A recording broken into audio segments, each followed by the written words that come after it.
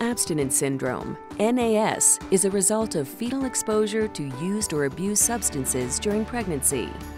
Unfortunately, the condition is on the rise in the United States. When treating infants with NAS, identifying opportunities to wean and reducing length of treatment and stay benefit the patient, family, and health system. Recognizing this importance, Thomas Jefferson University Hospital developed an NAS pharmacologic algorithm. It is a protocol created by the organization's multidisciplinary group of neonatologists, pediatricians, nurses, practitioners, medical residents, pharmacists, and administration.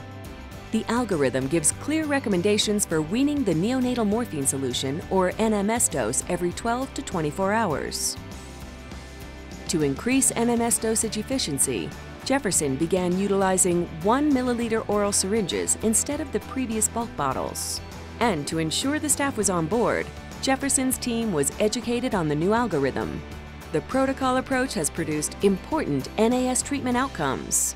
Missed opportunities to wean decreased from 18.21 to 5.98.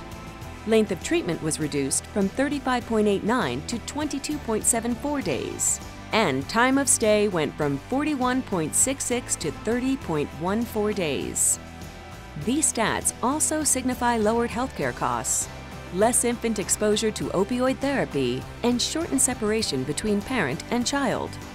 For their work to improve quality outcomes through standardized care, we are thrilled to acknowledge Thomas Jefferson University Hospital as the second place recipient of the 2016 Delaware Valley Patient Safety and Quality Award.